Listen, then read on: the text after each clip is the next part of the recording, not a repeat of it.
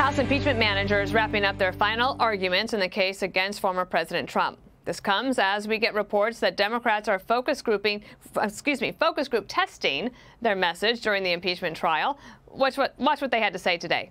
Inside and outside government begged him to condemn extreme elements, promoting violence, and indeed civil war in America and race war in America. He just wouldn't do it. He intended the events of January 6th to happen.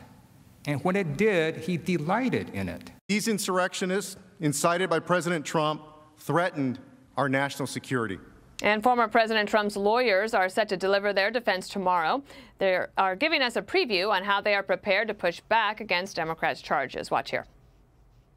Why do we ignore the word peacefully? Why do we ignore the context in, in which the word fight is used during the course of it to, um, to cheer on legislators to have courage and that sort of thing? This is what you get uh, when you have when you bring in a movie company and hire a large law firm to make a professional product that takes things out of context and presents it as an entertainment package. And Republican senators continuing to say that the math isn't there for a conviction. Watch this. I think most Republicans found the presentation by the House managers offensive and absurd. Really, what the aim is, I think, is to humiliate President Trump, to discredit his policies, and to shame the 74 million people who voted for him into conformity. I think what we're watching is a total kangaroo court. It's totally unconstitutional and it is incredibly selfish. All right, Juan, why don't you kick us off today uh, on day three of this trial? Well, I'm, I'm listening carefully because I'm anticipating, you know, what the Trump team will have to say in response tomorrow. Uh, but so far, Dana, all I'm hearing is spin. I mean, they don't, you know, seem to me to have the facts on their side. They can't pound the table because they haven't been at the table yet. They'll get their chance tomorrow. So I think what they're doing is spinning. They're talking about things like, why did they have a focus group? Gee, is it unusual for lawyers and politicians to have focus groups? No. They talk about, you know, uh, well, President Trump once said the word peacefully. Oh, but what about the months in which he was saying, you know, let's let's gather at the Capitol and inciting people beyond the, the pale? I want to hear the facts. The case is built on what we heard today from Jamie Raskin, quoting Thomas Paine, is common sense and hard facts. The videos that we've seen over the last two days, uh, the statements from President Trump, even the fact that a number of his own aides and officials uh, resigned in protest over his failure to, to, to quash what was the violence that they saw taking place. So I think, you know, after the last two days or so, we can say, is it three days? You know, that uh, it's still likely the president will be acquitted, but it's because people choose to ignore a solid wall of evidence you know, sky high that's been built to say that this is a high crime and misdemeanor of the worst kind, attack on the government. Uh, and so some people put their feet up on the table and pretend like, ah, that wall's not there. I got other things to do. But right. I think they made a really good case. How, how about you, Dagen? Good to see you today. Uh, well, good to see you. Well, there are 44 senators who think this trial is unconstitutional. Uh, to get a conviction, you need 11 more Republicans to vote. Good luck with that. Not going to happen. But um, you focus group something when you're selling a product to hone your pitch. And what the Democrats are selling is hatred of all things Trump. That's not just the man, you know, the orange ogre who is blamed for all evils emanating from Washington and around the world uh, the boogeyman that the left hid behind for more than four years to hide their fecklessness and uh, their incompetence and their disdain for working men and women. It, the evil that they're selling is Trump voters. 74 million Americans. They are no longer just deplorable rubes and bigots bitterly clinging to their guns and Bibles. In the left wing universe that you've heard in the last two days, those Trump voters are the Capitol Hill rioters, all of them. They're QAnon devotees. They're proud boys and girls to be silenced, shamed, persecuted, destroyed, Democrats in control forever. That's the goal. And now you have big tech, big media, and academia locking arms with the Democrats in government, and the left is closer than ever to complete dominance. That's the goal. That's what they're pitching. Greg, I can see you. I can think. I think you're writing some notes, and if we were at the table, I would steal a glance to find out what those notes were. But maybe you'll share them with us here. I was drawing a unicorn. Oh, Dana. how'd it no, turn out? actually, Show us. I just wrote that Juan proved why this was a failure. He had mentioned that Trump indeed said peaceful, patriotic protest, and then part of the wall of evidence, this incredible solid wall of evidence, all you could come up with was Go to the Capitol.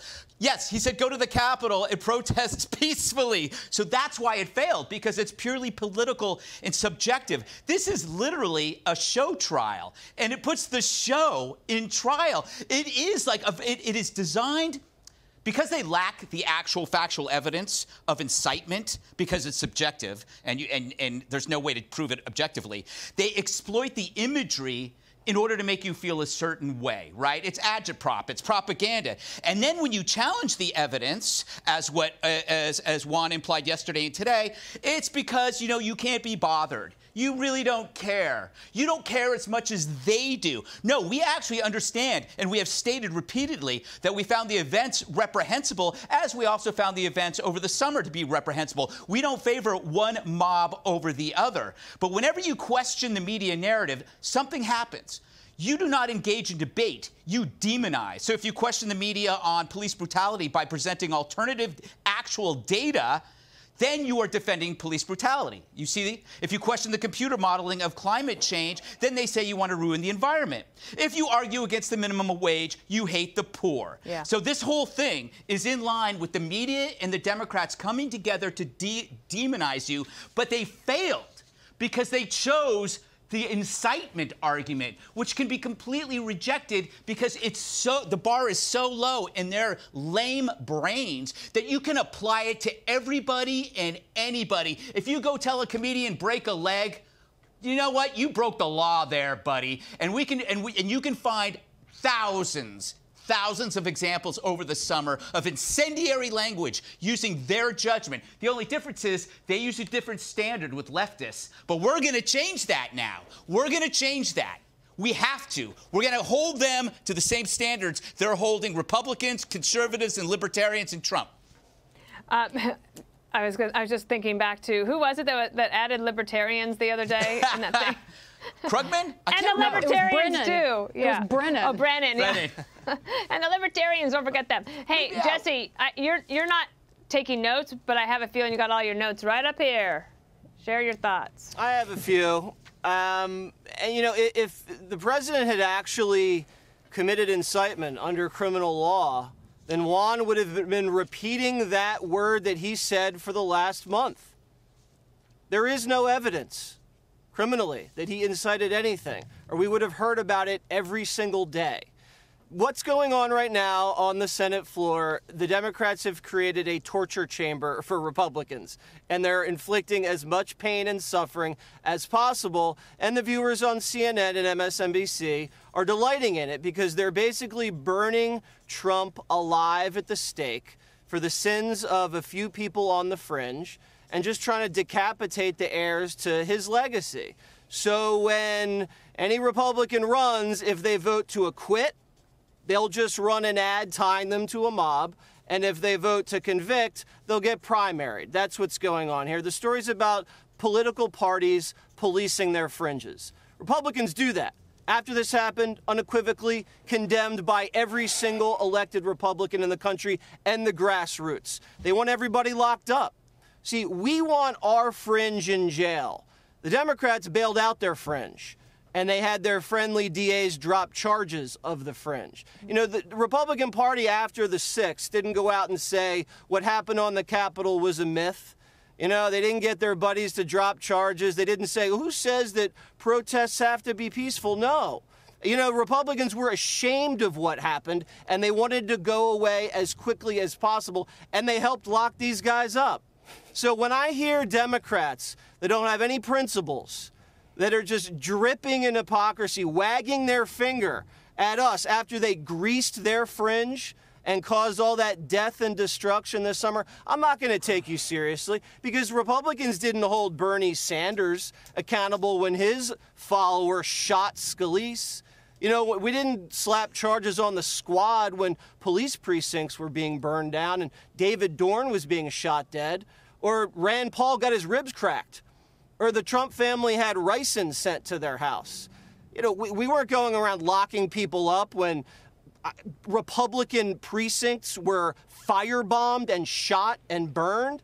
No, we didn't start charging Democrats. What's going on right now is sick. Because if you, like Greg said, disagree that this, oh, maybe wasn't a terror attack, as what CNN said, then all of a sudden the FBI is going to come and you're going to lose your account on Twitter. It makes you think the Democrats feel that you're the actual enemy, considering the fact that they now have spent a half a billion militarizing Washington, D.C. after this. All right. A block secured. Moving on.